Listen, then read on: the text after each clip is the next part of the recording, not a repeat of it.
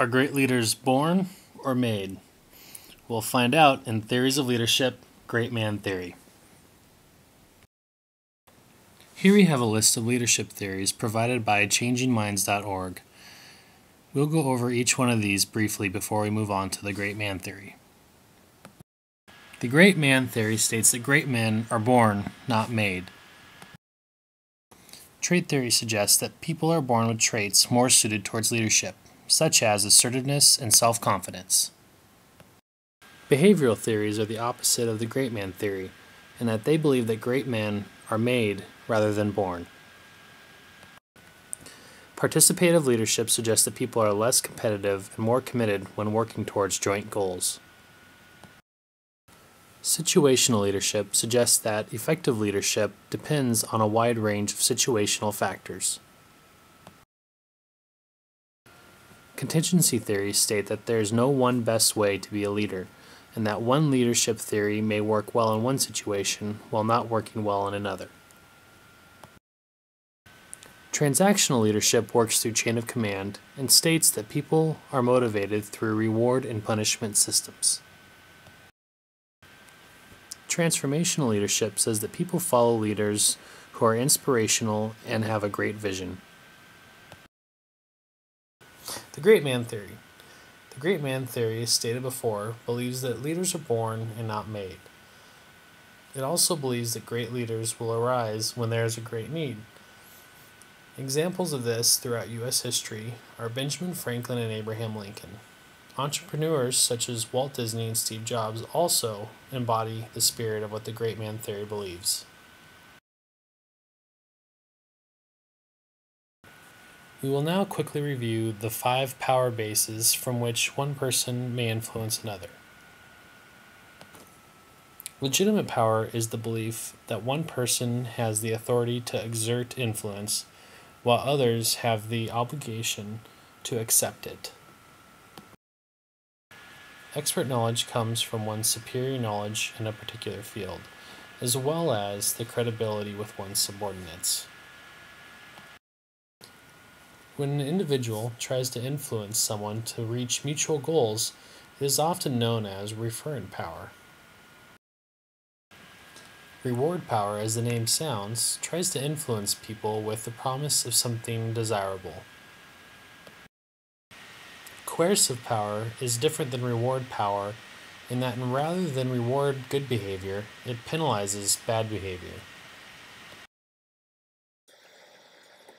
I believe that the great man theory lends itself to the use of legitimate power for the exertion of influence over others due to the fact that typically under the great man theory you end up with leaders who are famous already or are of great wealth and people tend to believe that they are uh, have the right to be in power.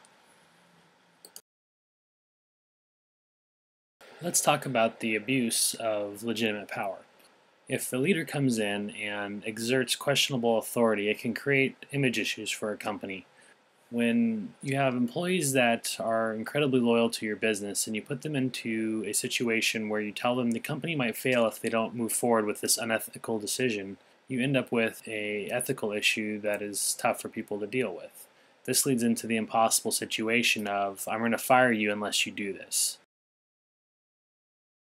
While legitimate power has its drawbacks, it does have its benefits as well. If your leader has strong ethical character, it can do wonders for your customers and employees alike. The motivation factor will allow your employees to accomplish many great tasks.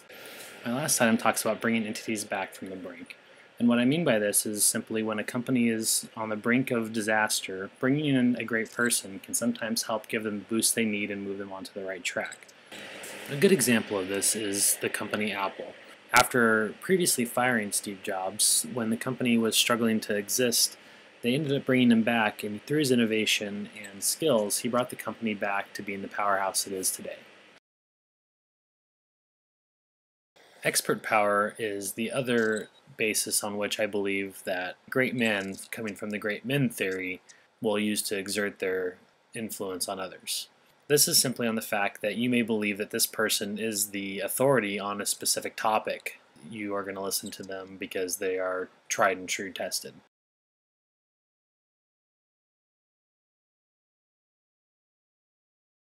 Of course, expert power does have its ethical issues. One of them is manipulation. With expert power, it's very easy to manipulate someone into doing what you want them to do, uh, whether that's ethical or not. The other issue is deceitfulness. Someone in a position of expert power can easily lie to someone, and that person would believe that without a question of a doubt, this is to be truth. So you can see the issue that can arise there. Once again, I believe that the benefits outweigh the issues as long as your person in power is of ethical soundness. First of all, if your leader has strong ethics, the right decisions are being made and they're being made quickly. This does require strong ethical beliefs. When your leader is a expert, it benefits all involved. This includes customers and employees. There's much value to be gained from having someone on your side that is of expert power. So here's a quick overview of what we learned. We talked about the great man theory. What that means is that great men are born and not made. I then went on to discuss the two types of power that I believe lend themselves to the, the great man theory legitimate power and expert power.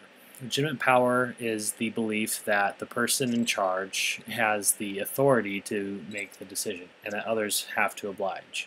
Expert power talks about a person that has implied power based on credibility with its employees. In most cases, this is topic specific.